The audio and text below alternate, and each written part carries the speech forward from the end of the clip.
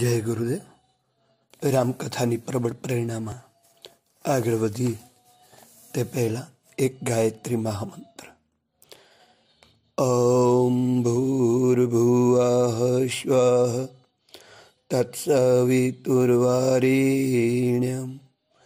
ભર્ગો દેવસ્ય ધીમહિ ધિયો યો ના પ્રચોદયાત. દેવીઓ અને ભાઈઓ, ગોસ્વામી તુલસીદાસે રામચરિત માનસ શા માટે લખી? રામચંદ્રજીની લીલાઓની વ્યાખ્યા શા માટે કરી? વાસ્તવિકતાનો બોધ કરાવવા માટે આ પુસ્તક ઇતિહાસનું પુસ્તક નથી, આ તો ચરિત્રમાં ઉતારવા માટેનું ઉત્તમ પુસ્તક છે. રામાયણ એ સળગતી મસાલ છે, જેનો પ્રકાશ ગ્રહણ કરીને આપણે કુમાર્ગી, કપટી, ઢોંગી અને ખરાબ પ્રવૃત્તિઓનો નાશ કરી શકીએ છીએ. રામચંદ્રજીનું ચરિત્ર એટલું ઉજ્જવળ છે, જેને ધારણ કરવાથી બધા જ દુઃખો દૂર થઈ જાય છે. સાંભળવાથી ફક્ત એટલી જ ખબર પડે છે કે તેમણે શું શું કામો કર્યા. પરંતુ અનુસરણ કરવા માત્રથી બધા જ દુઃખો દૂર થઈ જાય છે. કિંમતની દ્રષ્ટિએ રામાયણનું પુસ્તક કેટલાક રૂપિયાનું છે, પરંતુ આ તો ભાવનાનો વિષય છે. રામાયણ એટલા માટે લખવામાં આવી કે માણસ તેમાં વર્ણવેલ ચરિત્રોના આદર્શોનું પાલન કરી પોતાના જીવનને ધન્ય બનાવે પ્રત્યેક વ્યક્તિ પોતાના જીવનની સફાઈ કરે સુધારે જીવન એક સંગ્રામ છે જે લડાઈના મેદાનમાંથી ભાગી જાય છે તેમને હારવું પડે છે સફળતા સંગ્રામમાં જ મળે છે संग्राम जिंदगी है लड़ना उसे पड़ेगा जो लड़ नहीं सकेगा आगे नहीं बढ़ेगा इतिहास कुछ नहीं है संघर्ष की कहानी राणा शिवा भगत सिंह झांसी की वीर रानी कोई भी कायरों का इतिहास क्यों पढ़ेगा संग्राम जिंदगी है લડના ઉસે પડેગા સફળતા સંગ્રામમાં જ મળે છે યશ ધન વગેરે બધું જ સંગ્રામથી જ મળે છે રામચંદ્રજી લંકા પર ચઢાઈ કરવા લાગ્યા વિભીષણે વિચાર્યું રામચંદ્રજી પગે ચાલી રહ્યા છે. જ્યારે રાવણ પાસે તો હાથી, ઘોડા, રથ, પુષ્પક, વિમાન વગેરે બધા જ સાધનો છે. રાવણ તો રથમાં આવી રહ્યો છે. વિભીષણ કહે છે, હે રામ, આપની પાસે ન તો રથ છે, ન કવચ અને પગમાં જૂતા પણ નથી. કોઈ ભૌતિક પદાર્થ પણ કંઈ નથી. તો પછી રાવણને કેવી રીતે જીતશો? રામચંદ્રજી કહે છે, વિભીષણ, તું જાણતો નથી કે કયા સાધનથી માણસ જીતે જીતે છે. તલવારથી નથી જીતતો જેનાથી માણસ જીતે છે, તે બીજી ચીજ છે. હું તને સિદ્ધાંતની વાત બતાવું છું. આપણી અંદરની ઈચ્છાઓ જ મુશ્કેલીઓ પેદા કરે છે. આપણે આપણા દોષ, દુર્ગુણો સામે સંગ્રામ કરવો પડશે. હિંમત, શૌર્ય અને ધૈર્ય જેવા ગુણો હોય તો મોટામાં મોટી મુશ્કેલીઓ પણ પાર કરી શકાય છે. જેની પાસે હિંમત નથી, ધૈર્ય નથી, તે શું વિજય પ્રાપ્ત કરી શકશે? રામચંદ્રજી પાસે એક રથ છે, જેનું એક પૈડું હિંમત અને બીજું પૈડું ધૈર્ય છે. પરીક્ષામાં નાપાસ થઈ ગયા તો જવા દો. સ્કૂલો તો બંધ નથી થઈ ગઈ ને? બીજી વખત પાસ કરી લઈશું. એક વર્ષ નાપાસ થયા તો મર્યા મર્યા રેલવે નીચે કપાઈ મરે છે.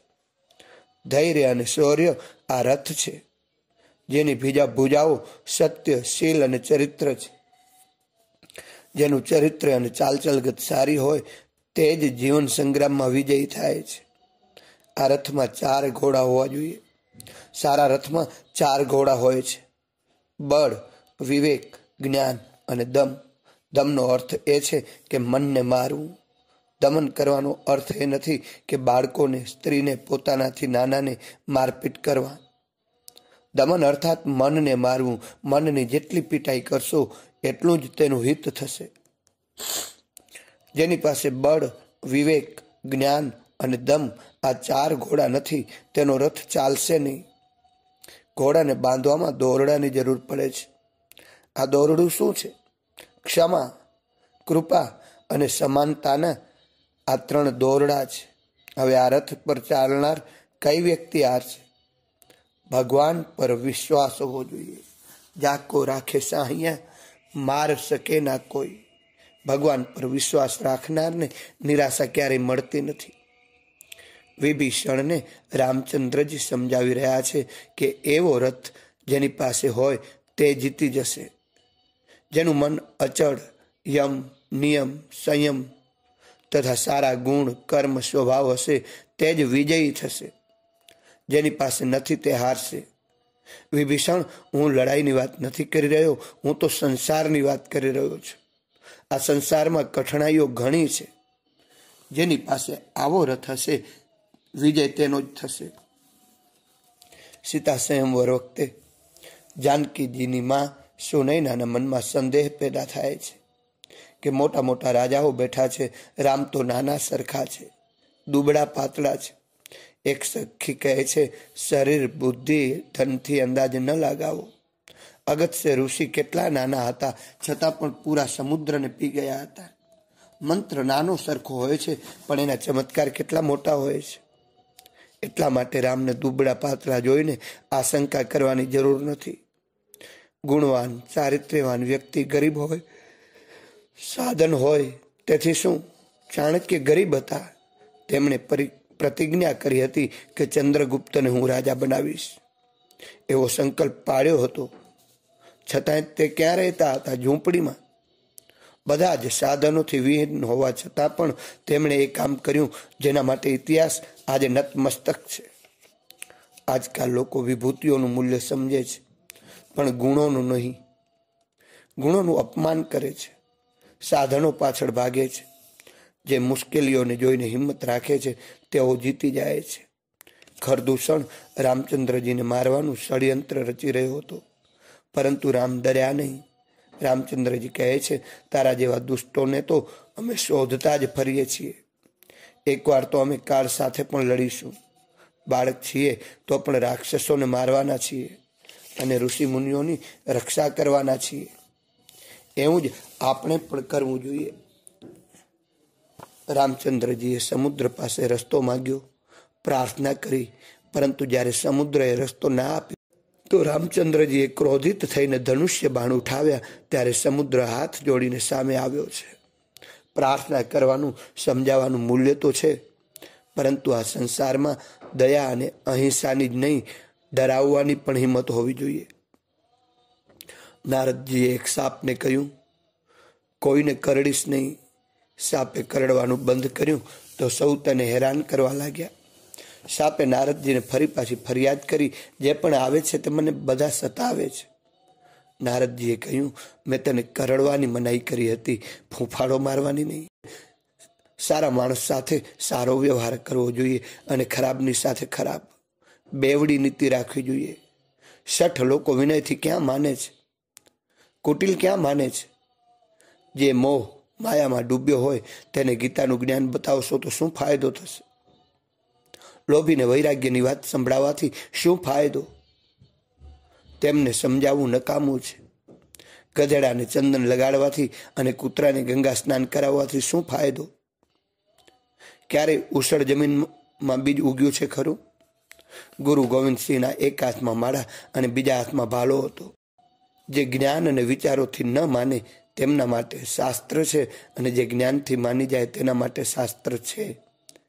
જે નહીં માને તેને દંડથી સમજાવો છો. એક બાજુ માણસ શીલવાન બનવું જોઈએ તો બીજી બાજુ શૌર્યવાન પણ બનવું જોઈએ. તમે શીલવાન છો પણ શૌર્યવાન નથી તો તમને રાક્ષસો ખાઈ જશે. દયાને ન છોડો, સાથે સાથે કઠોરતા સાથે પણ સંબંધ ન તોડો. રામાયણ આપણને સંતુલિત જીવન જીવવાની પ્રેરણા આપે છે. હનુમાનજીની ભગવાન પરીક્ષા કરી રહ્યા છે. આ હિંમતવાન છે કે નહીં? હનુમાનજીની પરીક્ષા થઈ. સુરસાએ માર્ગ રોક્યો. સુરસા કહેવા લાગી, હું તને મારી ખાઈ જઈશ સુરસાએ મોં ફાડ્યું. હનુમાનજીએ પોતાનો આકાર વધારી દીધો. જ્યારે સુરસાએ વધુ મોં ફાડ્યું, તો હનુમાનજીએ નાનું શરીર બનાવી દીધું અને મોઢામાં જઈને કાનવાટે બહાર નીકળી ગયા.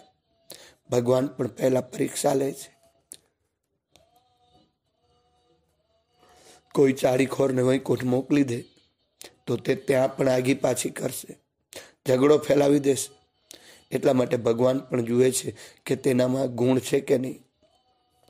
સેનામાં ભરતી થનારની છાતી જોવામાં આવે છે. એવી રીતે ભગવાન પણ પરીક્ષા લે છે. ગુણ, કર્મ, સ્વભાવ ઠીક છે કે નહીં? ભગવાન આશીર્વાદ આપવા માગે છે, પરંતુ પહેલાં ઠોકી વગાડીને જોઈ લે છે. જેની પાસે સદગુણ નથી, તે બે કોડીનો છે. ગુણવાન હોવું એ જ આધ્યાત્મિકતાનું સાચું શિક્ષણ છે. જામવંતજીએ હનુમાનજીના ગુણોના વખાણ કર્યા છે. હનુમાનજીએ જે કામ કર્યા છે, તે આપણે સૌ જાણીએ છીએ. ભગવાન રામચંદ્રજીએ હનુમાનજીને છાતીએ વળગાવ્યા છે. સુગ્રીવને નથી લગાવ્યો. છાતીએ માત્ર ને માત્ર હનુમાનજીને લગાવ્યા છે. કરણી જોઈ તો હનુમાનજીએ પુત્ર માન્યો, હનુમાનજીને પુત્ર માન્યો. ભગવાન કહે છે કે તારા જેલો, તારા જેટલો ઉપકાર કરનાર કોઈ બીજો નથી. જેઓ પોતાનું જ ઘર બનાવે છે. દીકરીનું લગ્ન કરવું, મકાન, દુકાન, નોકરી, પુત્ર, ધન આવું જ જે વિચારતા રહે છે. પરોપકારની વાત ક્યારેય વિચારતા જ નથી. તેમને ભગવાનનો પ્રેમ ક્યાંથી મળે? ભગવાન કહે છે, હે હનુમાન, તારા જેવો ઉપકાર કરનાર અને વાલો મને બીજું કોઈ છે નહીં. કડવા વચનનો પ્રસંગ આવે છે. કઈ કહીએ જ્યારે દશરથજીને કડવા વચન કયા, કેવા કડવા વચન? દશરથજીને રામ સીતાને દુઃખ પહોંચાડે તેવા. મનુષ્યના દોષ, દુર્ગુણ દુઃખ પ્રદાન કરનારા હોય છે. દોષ કોને દેવો? ભરત પોતાની ભૂલ જુએ છે. સારા માણસનો સ્વભાવ હોય છે કે તે પોતાની ભૂલ જુએ છે. પોતાની ભૂલોને જોવી જોઈએ અને સુધારવી જોઈએ. જ્યારે દુઃખ આવે છે, ત્યારે ધૈર્ય રાખવું જોઈએ. ધૈર્યવાન બનવું જોઈએ. દશરથને સુમંત સમજાવી રહ્યા છે. મુશ્કેલીઓ આવતી રહે છે, તમારે ધૈર્ય રાખવું જોઈએ. રાજા જ ધૈર્ય છોડી દે, તો પછી પ્રજાનું શું થશે? દશરથજી દુઃખમાં તડપી રહ્યા છે. કૌશલ્યા હિંમત રાખીને પતિને કહે છે, હે નાથ, તમારા ઉપર આખી અયોધ્યાનું કુટુંબ ટકેલું છે. દુઃખ તો મને થવું જોઈએ, કારણ કે મારા પેટે રામનો જન્મ થયો હતો. આવી રીતે હિંમત અપાવે છે. આવી રીતે સૌએ હિંમત વધારવી જોઈએ. એક મોટો રાક્ષસ, એક મોટો માણસ ખરાબ થઈ જાય છે, તો બધા તેના જેવા જ બની જાય છે. રાવણના રાજ્યમાં બધા કપટી કુટિલ થઈ ગયા હતા. પરંતુ રામ રાજ્યમાં બધા જ સારા હતા. જેવું આચરણ મોટા માણસો કરે છે, એવું જ અન્ય લોકો પણ કરે છે. તમારે પણ રાવણનું કામ ન કરવું જોઈએ, રામચંદ્રજી જેવું કામ કરવું જોઈએ. ત્યારે જ આપણું રામાયણ વાંચવું, સાંભળવું, પાઠ કરવું, આ બધું સાર્થક થશે. અસ્તુ, મિત્રો, રામકથાની દિવ્ય પ્રેરણાનો આ સંદેશ પરમ કૃપાળુ પરમાત્માની મા ગાયત્રીની દિવ્ય અનુકંપાથી આપ સૌની પાસે પહોંચાડવામાં આવ્યો છે. આ સંદેશને અણસાંભળ્યો વણસાંભળ્યો નહીં કરતા. આને જન જન સુધી પહોંચાડી, મિત્ર સ્નેહી સ્વજન સુધી પહોંચાડી, રામના દૈવી કાર્યમાં સહભાગી થશો. એ જ અપેક્ષા છે. જય શ્રી કૃષ્ણ, જય ગુરુદેવ, જય સિયારામ.